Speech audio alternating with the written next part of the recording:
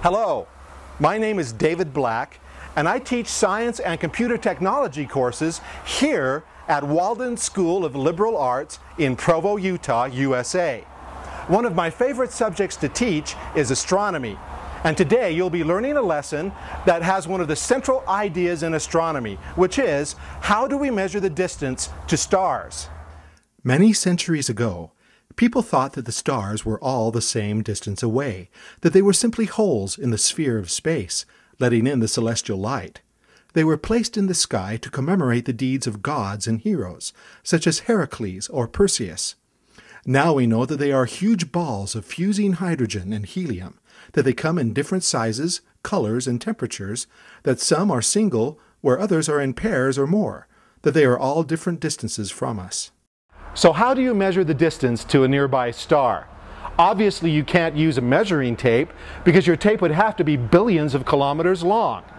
What we do is use something called parallax. Let me demonstrate how it works. If you were to hold up your finger with both of your eyes open and line it up along some vertical line, let's say the edge of the window, now if I shut one of my eyes, let's say my left eye, my finger seems to still be lined up.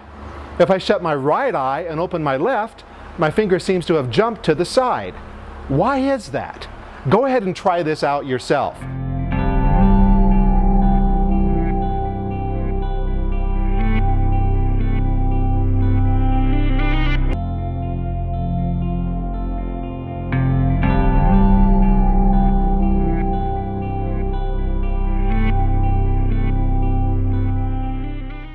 Okay, what happened?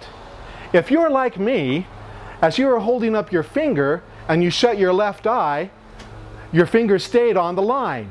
What that means is that you are right-eyed. Just like I am right-handed and right-footed, I also have a dominant right eye. The left side of my brain is dominant compared to the right side because your brain switches over. That's an example of parallax. Now, let's show you another example of parallax. As we move, nearby objects seem to move more than farther objects. Look at Mount Timpanogos, which is about 9 kilometers away. It doesn't seem to be moving as I drive up the interstate, but the fields and buildings next to the freeway seem to be whipping past quickly. We can judge that the buildings we see are closer than the mountain, but further than the billboard signs by how fast they seem to move. Of course, the buildings aren't moving, we are. The same thing happens when we look at the stars from Earth. Let's have you try this out. In your classroom, have three students stand up.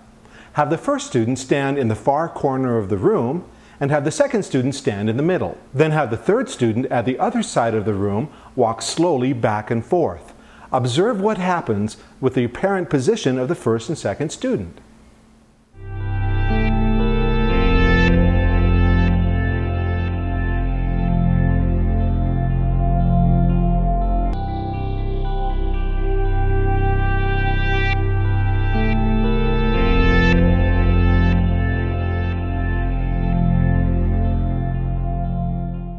You'll notice as the third student walks back and forth, the middle student seems to change position compared to the background student. This isn't that the middle student is really moving, it's that the third student is shifting position and creating a parallax angle, just the way the Earth moves around the Sun. To use parallax to measure the distance to stars, astronomers take advantage of the fact that Earth is constantly changing position as it orbits around the Sun. As this animation shows, a star close to us will seem to shift position compared to the further stars. The closest stars to us are still very far away compared to anything in our solar system, so the parallax shift is very small, less than one arc second of a degree. But using telescopes and careful measurements, we can still measure this parallax angle. Another important idea is that if we draw a triangle using the Earth, the Sun, and the nearby star as corners, it will become a right triangle.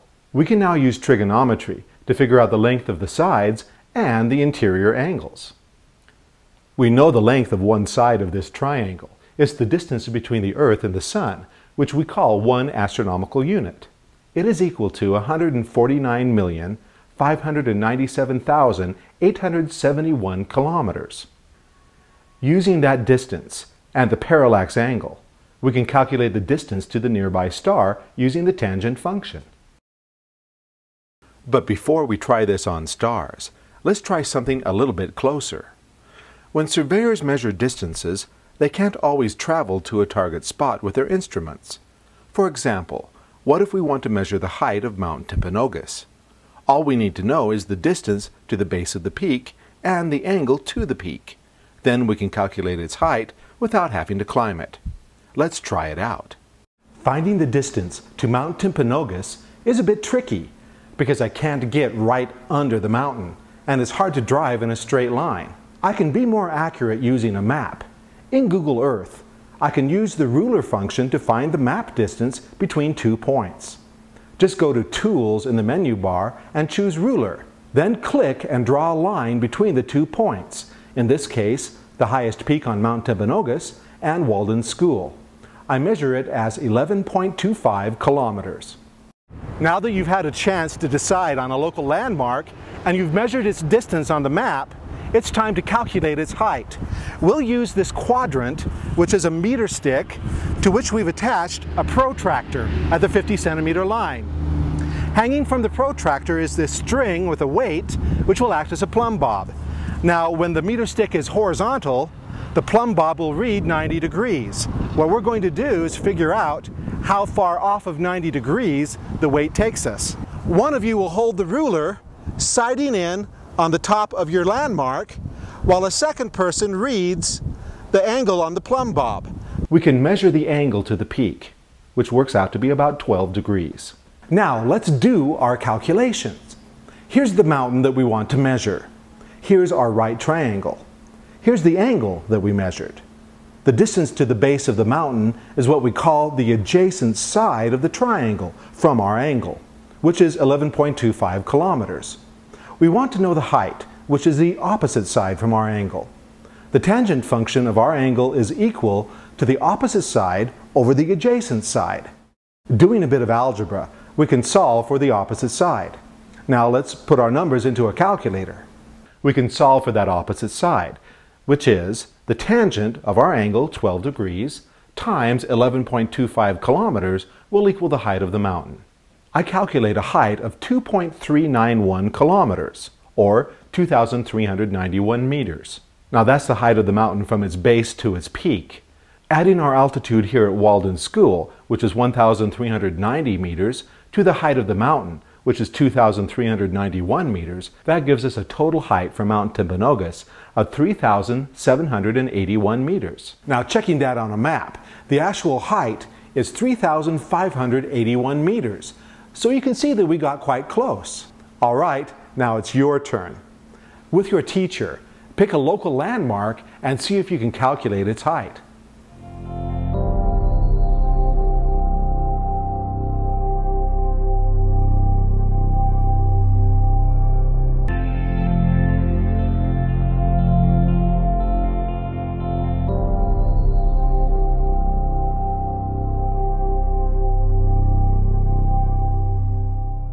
How did you do? Getting an accurate angle with our simple quadrant isn't very easy, and you have to be careful to make sure you're getting the correct angle. You should estimate the angle visually and then make sure that your actual angle is reasonable. Now that you've gotten the idea, let's try out the same technique on our main activity, trying to find the distances to simulated stars. Here's how you're going to do it. You'll simulate this process using a diagram your teacher has already laid out you will divide into six teams, and each team will be assigned to one or more planets. Six planets have been laid out in a line around a central star, with planet 1 the closest and planet 6 furthest away. Your teacher has also laid out four stars in a line perpendicular to the line of the planets. Your team will use a quadrant to measure the distance from the Sun to your assigned planet please be as accurate as you can and measure to the nearest centimeter. Write the planet number and distance on your data sheet. Now it's time to measure the parallax angle. Take your quadrant and lay the meter stick down in line with the planetary line so that it points to the sun. Place the middle of the protractor, the 50 centimeter mark on your meter stick, in the center of your planet. Then use the plumb bob to point to the star you are measuring and record the angle. 35. Be sure to write down the correct angle. It should never be greater than 90 degrees. Write this angle on your data sheet and then find the angles for the other three stars. Your teacher may have you repeat the process for other planets so that each planet has been measured by several different teams.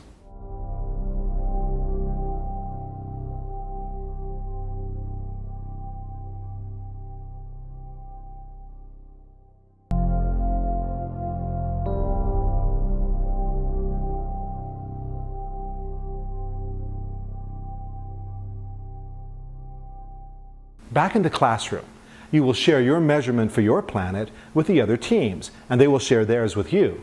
Your teacher will write them down on the board. Now, let's do the calculations on the measurements. We'll use the same procedure you used to find the height of your local landmark. Here's an example. Let's say you are calculating the distance to star A as measured from planet 1, which is 2 meters from the Sun. You found the angle to be 60 degrees. Using the formula, you take the tangent of 60, which is about 1.73, and multiply it by 2 meters, and you get 3.46 meters as the distance to star A. Now go ahead and do your own calculations for each of your stars from each of the planets.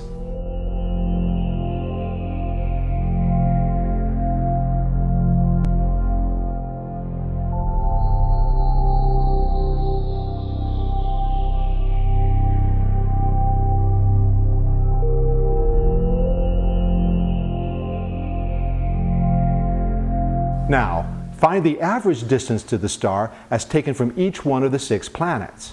Once you are done, your teacher will tell you the actual distances from the Sun to each one of the stars. To do an error calculation, take your average distance to that star and subtract it from the distance that your teacher tells you. Then divide that difference by the actual distance to the star and convert it into a percentage. That will tell you how far off you were as a percentage of the actual distance. Make sure you write all of your calculations down. You should see something pretty interesting, but I'll let you discover that.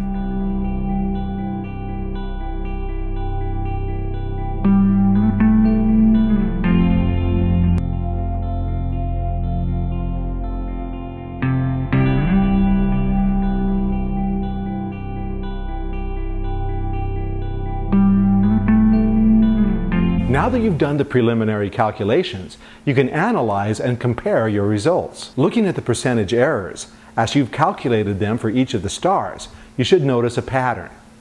The stars that are closest to us will be more accurate. You should also notice that the further the planet is away from the Sun, the more accurate the estimated distance is. Why is this? Why is it difficult to measure the distance to a star if the planet is close to the Sun or if the star is far away. Turn to your neighbor and discuss ways in which professional astronomers might get more accurate parallax angles.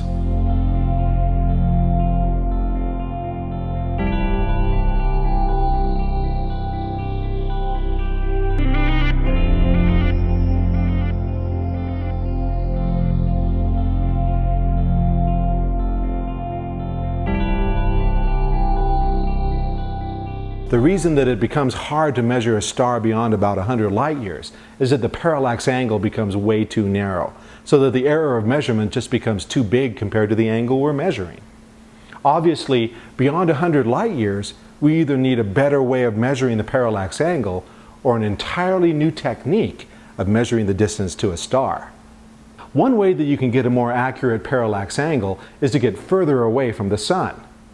The further away you are from the Sun, the more distance you travel each year and the larger the parallax angle is going to be. Even for nearby stars, the parallax angle is very small. For example, Alpha Centauri, which is the nearest star system to us, has a parallax angle that's less than one arc second. For a star to have a parallax angle of one arc second, it would have a distance of 3.26 light years. In fact, that distance 3.26 light years, is called a parsec, meaning it has a parallax angle of one arc second. If you send a satellite into space to measure the parallax angle, you won't have any interference from the atmosphere, and that parallax measurement will be much more accurate. From 1989 to 1993, the Hipparcos satellite did just that. For 118,000 stars, it measured the parallax angle 10 times more accurately than anything that had ever been done from the ground before. For 1 million stars, it measured the parallax angle to an accuracy of 25 milliarcseconds, which is still four times better than anything that had been done from the ground. We can now extend our distances to the nearby stars out to over 500 light years. Compared to the scale of our Milky Way galaxy, which is 100,000 light years across, 500 light years is still just in our local neighborhood astronomers use a scale called the distance ladder with a series of overlapping techniques that allow us to extend beyond 500 light years out to the edge of space. But it all depends on the first rung of the ladder, which is the parallax measurements. You may want to do some research into these amazing techniques, or perhaps do some research on the history of land surveying and solar navigation. If you want to read a thrilling story, research the fate of the HMS Endurance and how Ernest Shackleton, Frank Worsley, and four others rescued their stranded crewmates by a perilous voyage in a small lifeboat, traveling over 1,200 kilometers across storm-racked ocean to South Georgia Island, using only three sightings of the sun to navigate. We've talked about just one of the three coordinates for finding the position of a star in three-dimensional space. Perhaps you'd like to learn about the other two and how they are measured or use some free astronomy software to compare the actual parallax angles of stars with their distances in light years. Finally, you might want to research how 3D movies or images are created and how your eyes are tricked using polarized filters or using different colored lenses to see separate images. Your teacher will help you decide which subjects will be good for an extension of this activity. I hope you've enjoyed this lesson today and that you've learned how important parallax and stereoscopic vision are to many areas of science and technology. Until we meet again, this is David Black from Walden School of Liberal Arts. I hope to see you out there.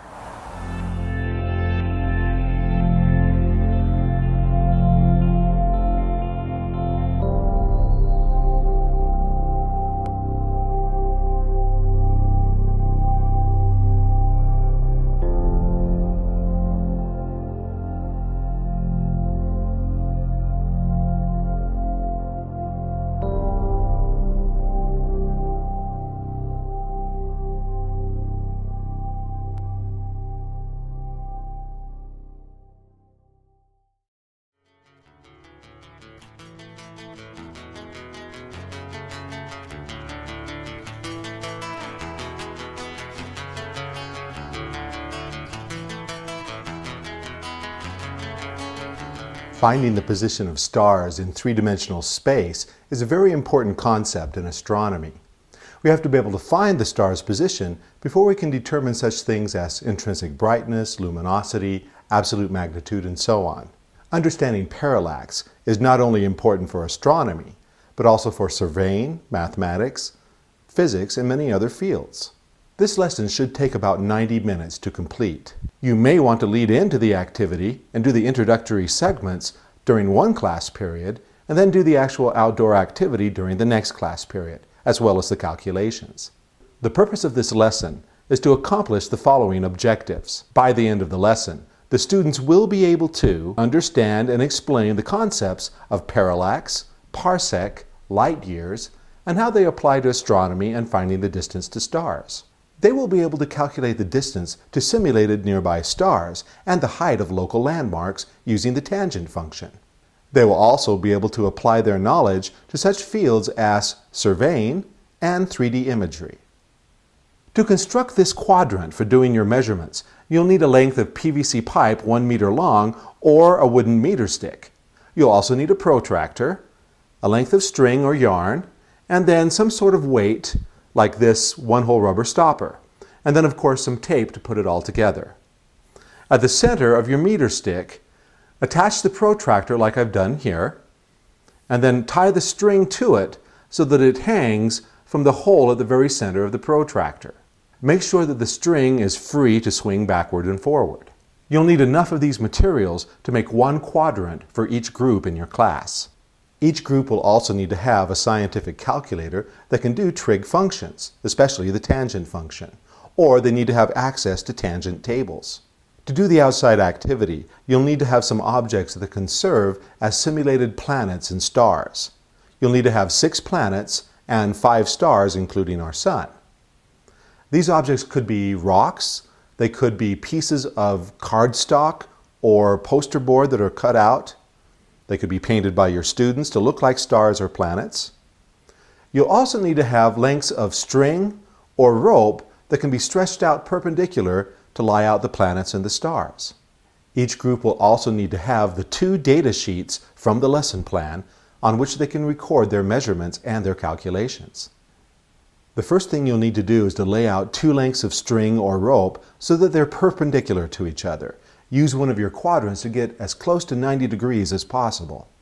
At the intersection of the two ropes, place our sun, which could be a cardboard cutout or a rock or other object.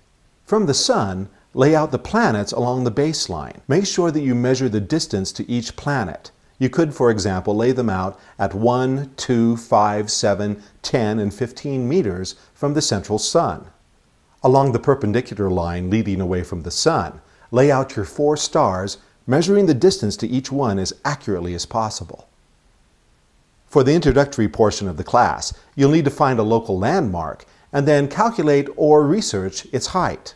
Using a map or Google Earth, find the distance from your school to that local landmark. Of course, you could have your students do this instead, but you might want to have the answers already worked out so that you can save some time. Once you have your diagram laid out either on a parking lot or on a practice field, and you've got your local landmark all decided on and measured, you're ready to go.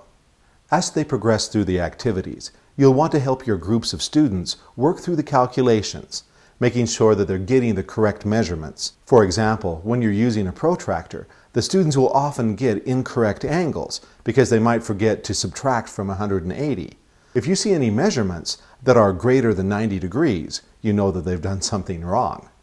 Once the students have made their measurements and you return to the classroom, what you'll want to do is make sure that each group of students has done their calculations and that they take their measurements and average them together so that they get an average distance from the sun to each star as measured from the different planets. You'll want to record the student averages for the distances to each one of the stars. Finally, once you have all the measurements to the stars recorded and written up where the students can see them, you'll want to share with them what the actual distances are and have them do an error calculation. Have them take their distance, subtract it from your distance and find the difference. Then take that difference and divide it by your measured distance. If you times it by 100%, they'll now have a measurement of how far off they are as a percentage of the actual answer. As they start looking at the patterns in their data, they should notice that the further planets are away from the Sun, the more accurate their answers are likely to be. You should also see that the further away a star is, the less accurate its answer is. Talk to them about how as you get closer and closer to 90 degrees, the tangent function can change dramatically, and so errors of measurement can make your final distance quite inaccurate. Discuss also that using parallax measurements from Earth, we could only measure the distance to stars out to about 100 light years.